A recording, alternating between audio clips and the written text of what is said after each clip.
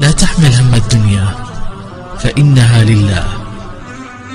ولا تحمل هم الرزق فإنه من الله. ولا تحمل هم المستقبل فإنه بيد الله. فقط احمل هما واحدا. كيف ترضي الله؟